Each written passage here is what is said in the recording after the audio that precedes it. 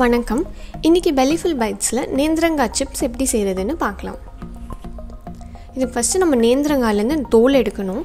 நீங்கள் பீலர்லாம் யூஸ் பண்ணிங்கன்னா அந்த அளவுக்கு அது நீட்டாக வராது. அதனால் இந்த மாதிரி கத்தி எடுத்துகிட்டு ஒரு அஞ்சாறு கோடு அந்த காயை சுற்றி கிழிச்சிக்கோங்க.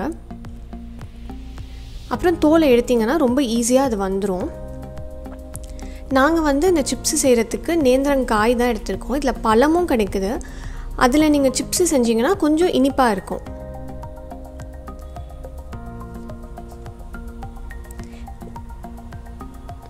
நீங்கள் வந்து கத்தியை வச்சு அந்த கோடு கிழிக்கும் போது பார்த்து இது பண்ணணும். அந்த தோலில் மட்டும் படுற மாதிரி தான் நீங்கள் பண்ணணும்.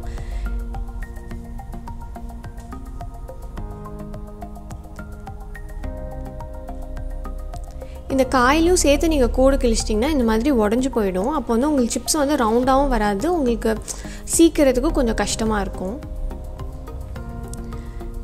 நாங்கள் வந்து இன்றைக்கி ஆறு நேந்திரங்காய் எடுத்திருக்கோம். வறுக்கிறதுக்கு முன்னாடி வந்து நம்ம ஒரு கப்பில் தண்ணி எடுத்துகிட்டு அதில் ஒரு அரை ஸ்பூன் அளவு உப்பு போட்டு அதை நல்லா கலந்து வச்சுக்க போகிறோம் இப்போ நம்ம வறுக்கிறதுக்கு வந்து தேங்காய் எண்ணெய் தான் யூஸ் பண்ணியிருக்கோம். தேங்காய் எண்ணெய் தான் இதுக்கு ரொம்ப நல்லாயிருக்கும் எண்ணெய் நல்லா சூடானதுக்கப்புறம் அந்த நேந்திரங்காயை வந்து டைரெக்டாக அதிலே வந்து சீச்சு போட்டுடலாம் நீங்கள் எண்ணெய் வந்து கண்டிப்பாக சூடாக இருக்கணும். இல்லாட்டி அது ஒன்றோட ஒன்று ஒட்டிக்கும்.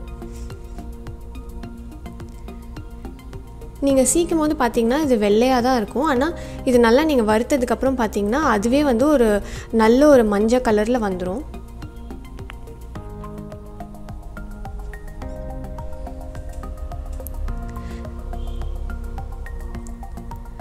நாங்கள் வந்து இந்த பிளேடு தான் யூஸ் பண்ணியிருக்கோம் அதை சீக்கிரத்துக்கு. முடிஞ்ச அளவுக்கு தின்னாக அதை சீச்சு போடுங்க. மெலிசா. இப்போ வந்து நம்ம கொஞ்சம் வறுத்ததுக்கப்புறம் நம்ம இந்த உப்பு தண்ணி சேர்க்க போகிறோம் நாங்கள் வந்து ஒரு ஸ்பூன் சேர்த்துருக்கோம். ஏன் உப்பு தண்ணி சேர்க்குறோன்னா அப்போ தான் வந்து அந்த சிப்ஸோட எல்லா சிப்ஸ்லேயும் ஒரே மாதிரியாக அந்த உப்பு போய் சேரும். இது வந்து கொஞ்சம் வெடிக்கும். அதனால் கொஞ்சம் தள்ளியே நின்றுக்கோங்க இந்த வெடிக்கிறதெல்லாம் வந்து நின்னதுக்கப்புறம் இந்த சிப்ஸும் வந்து நல்லா வறுபட்டதுக்கப்புறம் நம்ம வந்து இதை எடுத்துகிற போகிறோம் எண்ணெயை விட்டு.